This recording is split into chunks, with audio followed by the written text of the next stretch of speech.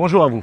Philippe, bonjour. Messieurs, mesdames les sportifs, bonjour. Alors Philippe, suite à ce contre-montre par équipe du deuxième jour, cette première semaine, comment va-t-elle se passer?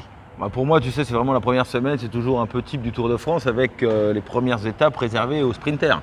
Il y a ce maillot vert à gagner, donc euh, voilà, on va voir des Peter Sagan ou des coureurs de ce genre dans la première semaine. Et puis après, on passe très vite quand même dans les Vosges avec de la montagne, donc euh, je pense qu'on va avoir un tour qui va démarrer sur les chapeaux de roue avec cette première semaine très attrayante. Effectivement, Philippe, les montagnes arrivent très vite avec dans les Vosges quelques talus, comme on dit dans le milieu du vélo, qui vont commencer à départager les grimpeurs et les écureuils.